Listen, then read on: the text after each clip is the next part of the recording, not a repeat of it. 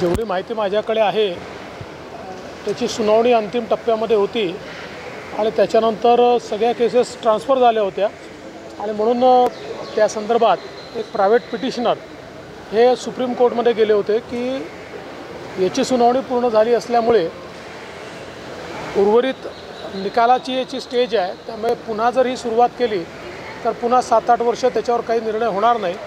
आणि ते म्हणणं सुप्रीम कोर्टाने ऐकलेलं आहे. आणि सर्वोच्च न्यायालयाने आता ती पुन्हा नागपूरच्या कोर्टात चालवण्याकरता म्हणजे अंतिम सुनावणी करता त्या ठिकाणी दिली आहे. त्यामुळे लवकरच त्याचा निकाल येईल. भाऊ तुम्ही काल बार्शीच्या बाबतीत जे आहे आणि आगामी निवडणुकीच्या अनुषंगाने तिन्ही पक्ष वोट बांधण्याचा प्रयत्न करतात. त्यांनी जरूर बांधावी. पहिल्यांदा तर त्यांनी आपला पक्ष एकसंघ ठेवावा. त्याच्यानंतर मग तीन पक्षाची मोठ बांधावी नागपूरमध्ये भूमिपूजनाचा सपाटा सुरू आहे. महानगरपालिकेच्या निवडणुकीत संकेत समजा देतात. महानगरपालिका निवडणूक असो का नसो आमचं बाराही महिने कामच चालतं. तुम्ही तर बघितलेलं आहे. त्यामुळे निवडणुकांचा आणि आमच्या कामाचा काही संबंध नसतो. भाऊ काल तुम्ही बार्शीच्या बाबतीत आरोप केला होता. त्याच्या विरोधात आज ते प्रेस घेणार आहे नितेश राणे त्या मोर्चामध्ये आहे. लव जिहादच्या कायद्याची मागणी मोठ्या प्रमाणात या कायद्याची मागणी आहे.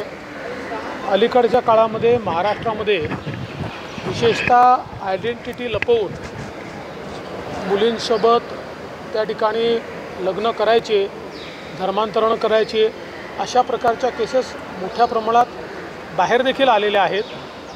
आणि त्या संदर्भात सर्व कॉर्नर्समधनं अशा प्रकारची मागणी होती आहे की कायदा केला पाहिजे. आम्ही मी स्वतः मागच्या काळात सभागृहात घोषित केलं होतं.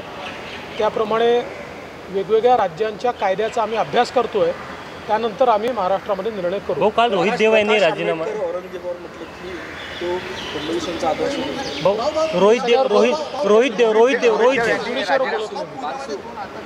पकडलेले आहेत त्यांच्याकडे काहीच नव्हतं रिव्हॉल्वर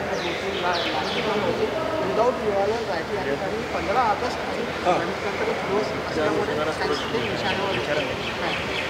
त्या उस संदर्भ में जल्दी ही आपको पूरी जानकारी दी जाएगी